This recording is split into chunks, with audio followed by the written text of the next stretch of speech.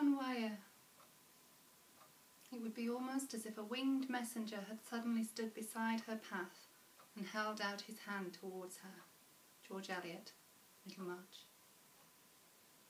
He found me on Twitter, said he'd been following me with interest, and offered his help for my next mission. He was writing his thesis on Philippe Petit and wanted to explore the motive of the dancer on wire in a post 9 11 context. I agreed to meet him in Takapuna Library a week before the attempt. I stood for a while by the stacks in the New Zealand section, under F, leafed through a few titles, but felt odd, and moved to a table in prominent view, taking my phone from my pocket for reference. Perhaps I'd misunderstood. It had been a lot to communicate with 140 characters. Psyche? It hadn't occurred to me he'd use my handle. I was about to leave. I have been downstairs, he said, looking around at the empty chairs, and added, Art, 180 to 240, as an explanation. His teeth were stained. A couple were chipped, and his mouth hung open like a teacup. No one ever uses this part of the library, I justified. We're less likely to get told to shush up here. He closed his mouth to smile. His lips were full, if a little dehydrated. Or we can go downstairs to the cafe, I said. Yes, there we can comfortably talk. He put a hand on the back of my chair. His wrists protruded from his sleeves by several inches, revealing brown black hairs and the tip of a tattoo. Having let me lead the way until I became trapped in a dance of politeness with an old lady coming out of the lift with her walking frame, Edward jogged around the stairs and was waiting at the counter when I got to the cafe, which is just a few tables and chairs inside the entrance hallway to the library. When we had ordered our coffees, I asked, How long have you been in New Zealand, Edward? I'm New Zealander. It came out quickly. He added, I was born here. I was glad the waiter arrived, and, at the risk of burning, I feigned a sip. Mmm, that's good, I said, and instantly felt ridiculous. It's not too hot, Psyche. Please, Edward, call me. I checked myself, wondering if it was altogether sensible to tell him my real name. Something about him didn't sit well with me.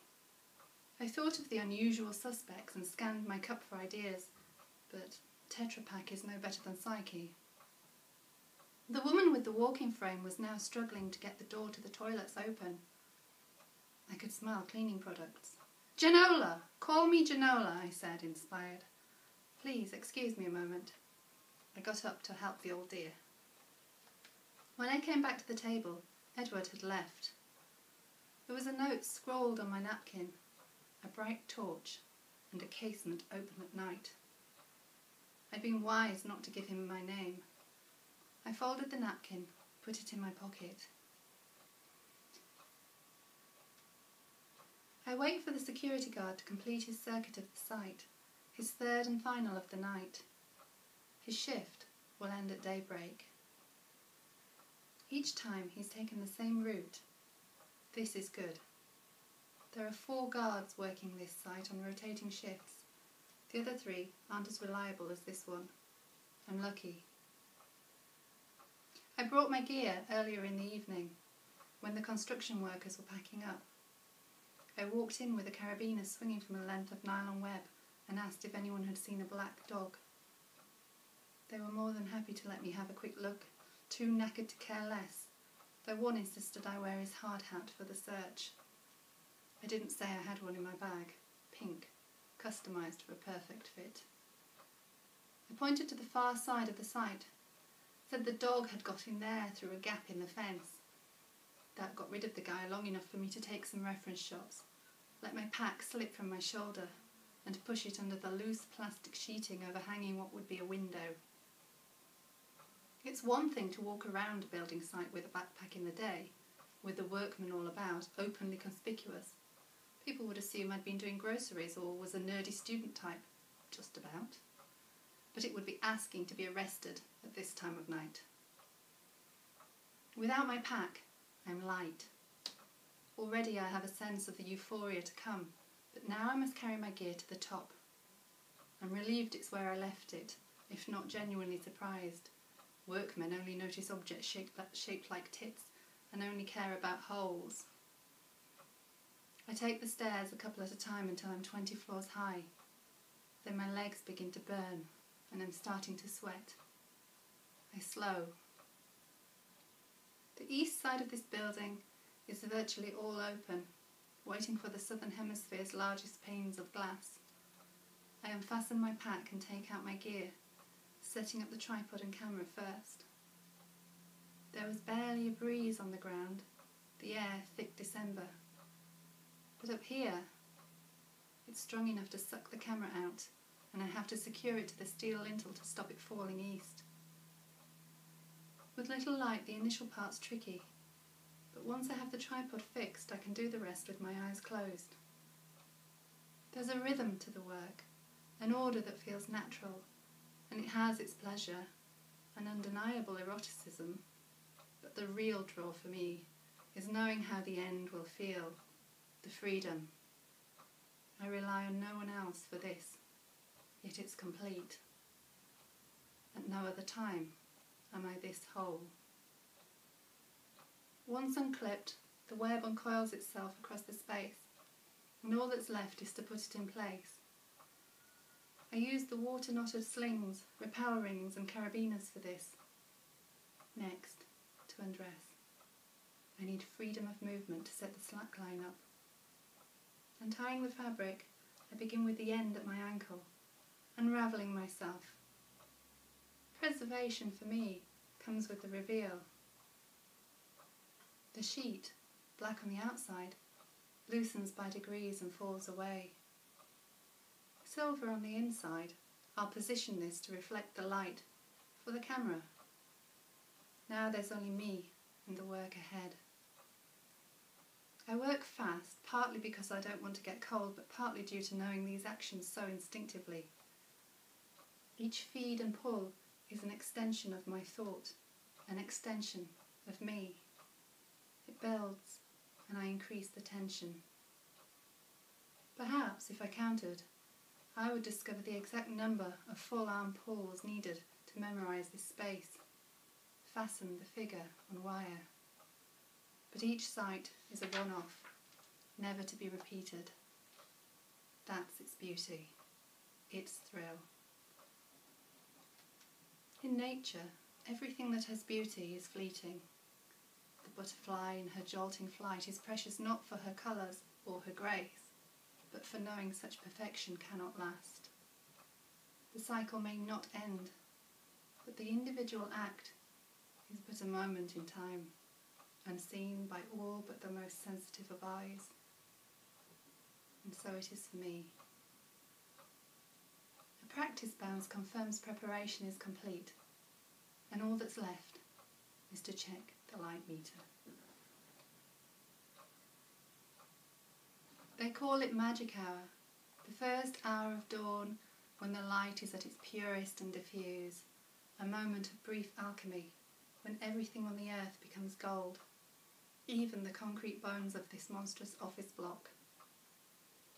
I seldom get the exposure right.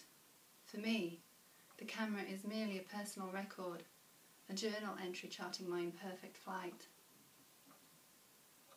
Lately, there's been talk of a dawn that rises and never sets, a buzz on the internet. It plays out against the east, defiant, unjust, flooding the southern hemisphere's largest glass panes. My eyes confirm what I disbelieve. Edward is about to receive a toast. I make my way toward him. The guests part mutter, Holy, see, as they observe my web between them, overcrowded Klee, twittering machine. You lied. He lowers his glass. You're not what you say you are either, bleach. If you knew, why didn't you say? You did search of the napkin. I found Keith's. Did read page the third. It was two ply. Of the internet search, if you had, you'd have found me. Hawker, a commercial artist, an enigma. Each night, this place is lit with the projection of film, what Edward secretly took. Spying like Vermeer. Stills of me dancing taken one minute apart, an hour condensed, in 60 frames and played on continuous loops so that the effect is that of looking into a pinhole camera. I'm here every night. Magic on repeat. At no cost to the company that owns this building, there are two kinds of free. The light contained in here, as it is on three sides, appears more red. The guests are mesmerised by my naked pivoting, transparent wire dancing form. But up on the top of the far wall, like stick arrows pointing west, my shadow flickers and is scanned. I start to spin, unravel the rest of my gear, while they wonder how they fail to spot my entry, then reenact myself, dance and cartwheel in reverse until I'm on the sill. I turn, the casement at my back, clip my harness on. I'm gone. Down in the street, a silhouette looking up at the glass and steel bars, where once the canopies of trees expanded with the calamity of birds. It's easy to see. Only the light escapes.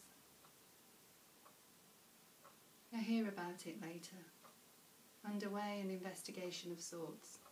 There's an issue with security at that building, they say, and some people would like to interview me, only I'm difficult to describe. My face, one of 140 characters, is my least memorable feature. Society likes to stare, but seldom sees the full picture. The film was stolen, and although it was only a copy, no one's managed to get in touch with the artist for the original. He told me this in person.